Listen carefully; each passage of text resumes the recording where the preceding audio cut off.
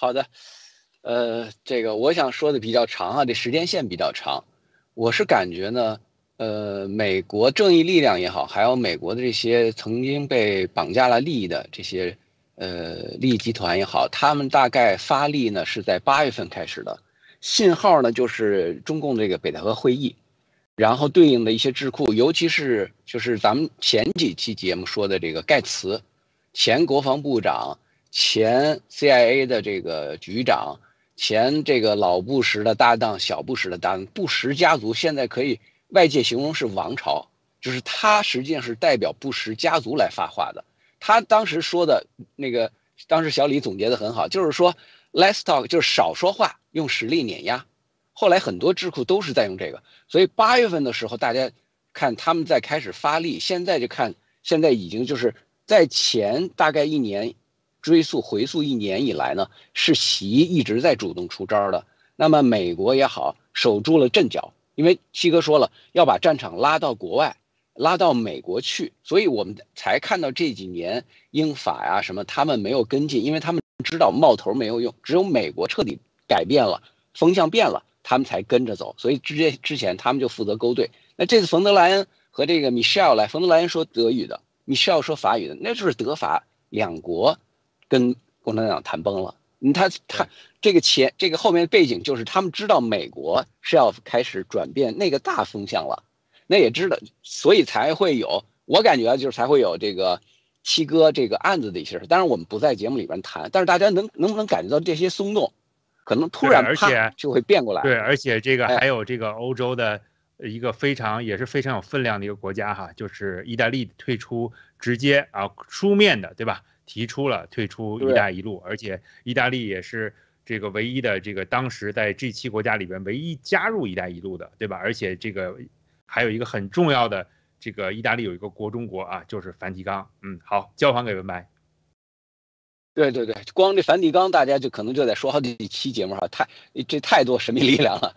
然后这个，所以大家就会看到，就是在十二月，就是呃，燕萍姐呃传递出来，当时咱们。咱们的海报也做了哈，就是现在是大决战时刻，就是在掰手腕，可能突然到某一刻，啪，脆断之后，整个风向一下子就变了，就是不是说这个叫什么，这个东升西降了，是吧？到谁谁谁谁升谁降，那就不能 就不用说了，这形势一下就转换过来。所以我再捋一下这个习大神，这个二十大，嗯，那前后干的这些事儿啊，二十大他读了这个狸猫换太子，用那假名单。这二百零五个人开始上了台了，是吧？呃，埋下了当时那个那个种子。然后呢，二十大之后，他实际那个时候，他通过七哥这直播，他已经知道了，鬼子六已经也在吹哨了。鬼子六是在要让这些资本开始撤梯子，开始跑路，对吧？那就等于是给习撤梯子，因为他当年习所用的这些这些招数、这些武器等等，全是江那个时代所布置下来的。他只不过就是摁按钮的，是他确实是一手好牌。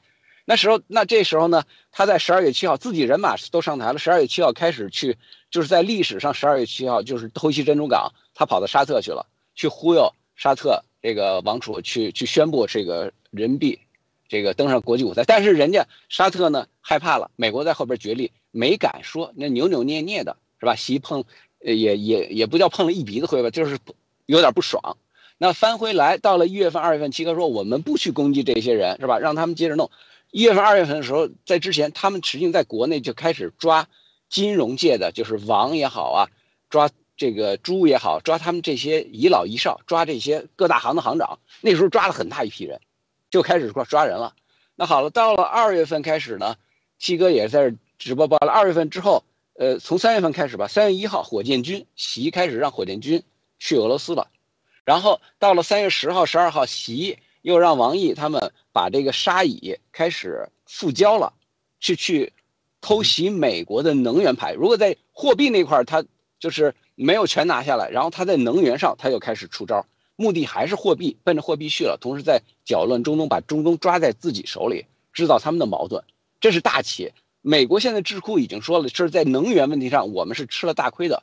这也是为什么到了六月份的时候，拜登就那个这个六月份马马德里这个呃西方这些会议，拜登就在那儿抱怨，公开的啊，相当于就是说我们跟普京玩，是莫大妈默克尔在十年以前把这普京介绍给我们，他在那儿拍胸打肚子在，这担保，所以我们才去烧俄罗斯的天然气，用俄罗斯的石油，才去买他的粮食，还把普京给养肥了、养大了，是默克尔干的。现在才就埋怨默克尔嘛，要不是你当初那样，我们现在能源也不至于受制啊。所以能源上美国是吃了大亏的，吃大亏了。好了，到了三二幺的时候，习亲自飞到。你还是习啊，飞到这个莫斯科和普京说百年之大变局，咱俩一起玩，你愿不愿意？说我愿意，是吧？结婚了，所以三月份就一系列这个，到了四月份突然峰回路转，王又出招了，出王少军，啊，我们的战友，但反正是是是灭共的人士出了问题了，对吧？四月底的时候，习呢就开始赖账，说美债一些外美元债我不还了，而且这期间开完两会把 S V B 打爆了。美国吓一哆嗦，是吧？爷，你别闹了，我我再跟你勾兑勾兑，我不去台湾了，行不行？麦卡锡不去了啊，然后这个这个宗教大会我也不开了，好不好？然后总统也不也不也不去了，啊，这三件事就都给灭了，就就是习又是赶紧灭火，对吧？没有这个灭火队员鬼鬼子六了，但是习亲自灭火，亲自指挥了。这四月底不还账，所以凯尔巴斯就说：“你看啊，CCB 不还账，导致这金融市场又乱了。你把这 SVE 打爆了，把这金融市场的债你开始搅乱了。”六月份的时候，摩根不就开始开始做欧元和美元的这个数字数字货币的互换，玩这大宗的区块链嘛？就人家也开始准备这个后路了。六月份又出了什么事儿？普里格金二十三、二十四、二十四小时搞政变是吧？正义行军还是莫斯科行军？那同时二十五号，这个这个前女婿秦刚出事儿了是吧？然后那时候火箭军其实也在出事儿，这是六月份的时候，七月份也出了一堆事儿。对吧？七月份，然后这个基辛格把这基辛格把这习又让把基辛格这个这老不死的给忽悠来，然后赶紧说别你们这些钱不要往外跑呀，我们还是可以在这个改革开放的可以再玩一轮的呀。习就开始又开始抛橄榄枝，那基辛格呢也配合他也在唱戏，但是钱呢照跑不误。你看看七月份开始，王岐山开始什么把国内的信贷的投放给断了，断了多少？我算当时宽算没记错可能是五千亿，就是一半。应该投放给社会的，给这些企业注血的，原来是计划是一万亿人民币，咔给砍了，腰斩了。就从那时候开始，国内的经济不说国外，一就是掉头向下，一下就下去了。鬼子六在出招，习肯定恨死了。那有什么办法呀？没什么办法，他除了抓人，除了让王小红派契卡进各大金融机构去占屁股坐位子，他没什么办法。那些中层干部不是他的人。是朱镕基当时布下来的，是习近是那个是是王岐山当时布下来的人，不听他话的，啊，和军队基本上差不多。所以七月份开始，他把基辛格弄来唱一番戏，然后七月份的信贷投放突然断了，这后边就再没起色了。八月份开北戴河会议，在开会议之前，美国已经知道了，美国就是说我要打一带一路，我要从东南亚开始抓。这智库八月一号开始吹风，开始说的。那到了九月十号的时候开这个 G 二零，就是把东南亚给拽过来，一个月零十天。就是拜登把东南亚这帮人抓在手里，搞出了一新的这个经济走廊计划，对吧？往往那个从东南亚往欧洲、中东欧延伸，这就是拜登干的。而且拜登在八月十四号的时候说，坏人遇到坏事的时候，他们就要干坏事他过不去这坎儿了，他就开始要打仗了。就其实就是在喊嘛，就是针对北戴河会议。所以习这北戴河会议可能还没开完，拜登那在戴戴维营已经开始吹这个风了。然后到了八月底，大家知道谁呀？这个李李李李尚福出事儿了。是吧？这个香格里拉开出事儿，然后到了九月初的时候，导哥他们爆料说几千人去抄家去了。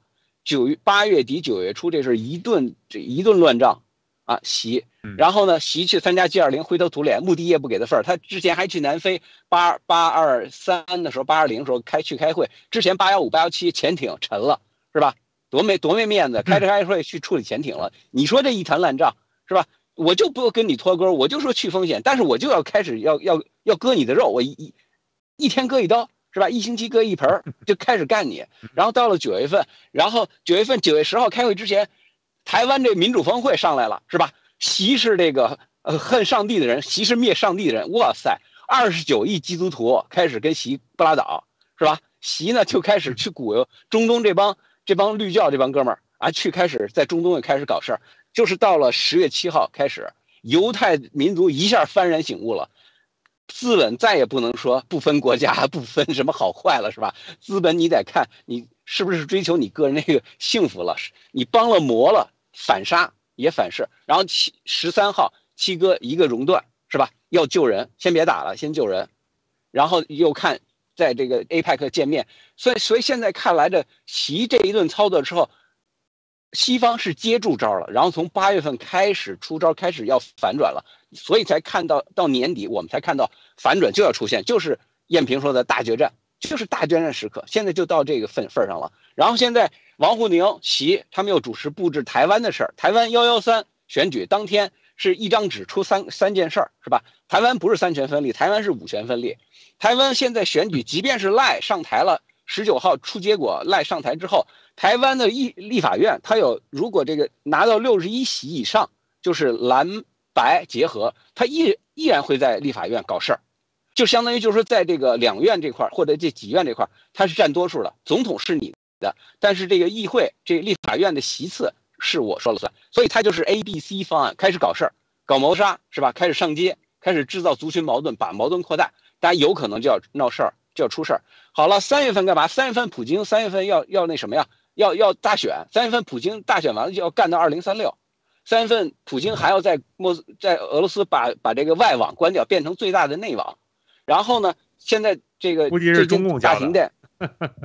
哎，对对，最近的这个。呃，北京、新疆、呃福福建这三个地方大停电是大家是无感的，所以说明他这几年建建的这些火电站它是有效果的，就是为战争准备的嘛。然后福建最大的血库、最大的野战医院就不用说了，之前我们通过凯尔巴斯在七月十二号在哈德逊已经吆喝出来了，对吧？现在呢，那个刚才说 O'Brien 又在说了，我在等第三只鞋子鞋子落地，那后来又说了。四五八三个三个月份就是窗口期，所以留给习的时间不多了。李李强在这期间曾经想放弃过房地产，我看简报，这个李强在会上说要放弃这房地产，我就专门打几样，一个是这个芯片，一个是电动车。但是现在你看，英国也开始封这个电动车，呃，这个冯德莱恩他们也要在德法也要封电动车，封你二十八纳米的芯片，是吧？然后。代表电习出海电动车的是谁？是李书福。李书福买沃尔沃的时候，七哥说是沼泽地点头了，他才买了沃尔沃，买了沃尔沃部门。现在沃尔沃呢又要去呃中东设厂，又要去这个欧洲设厂，所以呢，现在欧洲就开始把它干掉。所以呢，李强这个芯片和电动车这个估计没戏了。那房地产，他他现在不得不又回来救，所以你会看出他的政策就开始摇摆了。前面几大行分别中农工建，通通的轮流的出来和这房地产开始见面，啊，开始聊要给你们钱，没有用的，没有用了。外边那些外汇，王岐山已经通过小潘是吧？那那谁野人那边已经说了多少期，快把小潘说死了是吧？通过他每个月都往外卖嘛，然后又做最近把国债卖了去赌这。窟窿不够，还要把这远期这个呃这个远期的掉期的美元 给卖了，也在满足这些资本大佬的外逃。那洗你有什么办法？就是在放血呢，你堵不住，你就在抓鬼子溜啊，是吧？他在那使坏呢，鬼子溜就在等你搞这个公私合营，搞这这一时候他要出招。所以我就把这几个时间往后再大家捋一捋排一排，大家就知道明年这个这怎么样了。所以天气暖和了，就适合搞街头运动了。所以为什么？呃，蜜蜂说这清明节前后就开始，大家开始蠢蠢欲动了，是吧？那时候白纸运动可能又来了，一直又到六四，是吧？大家在广场上不走，就在那坐着，怎么地吧？街头运动，哎，还是快闪，快进快出，是吧？街头运动要注意，不能时间太长，不能诉诸暴力，这就又来了。所以我觉得习这这一睁眼一听这个咱们这节目，脑袋都大了啊。行，就说这么多。好的，好的。